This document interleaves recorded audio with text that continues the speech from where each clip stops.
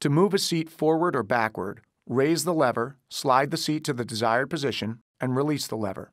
To change the seat back angle, lean forward slightly while raising the lever. Then lean back to the desired position and release the lever. To adjust the driver's seat height, pull the lever up repeatedly to raise the seat or push the lever down repeatedly to lower the seat. To adjust lumbar support, pull the lever forward to increase seat firmness. Push the lever backward to decrease firmness.